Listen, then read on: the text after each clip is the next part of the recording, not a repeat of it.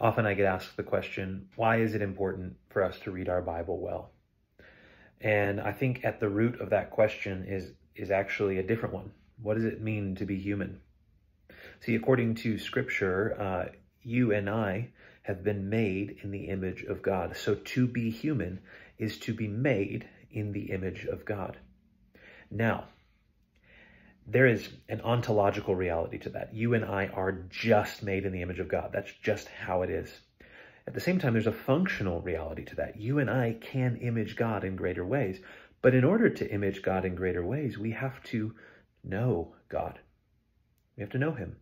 And he has revealed himself graciously to us in his word. And so it's important for us to read well so that we can image God, so that we can be human.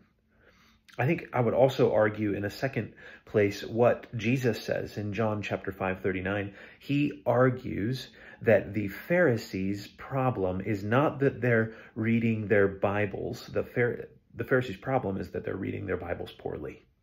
They are not reading their Bibles well.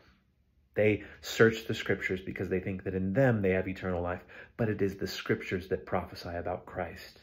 It's important to read the word well.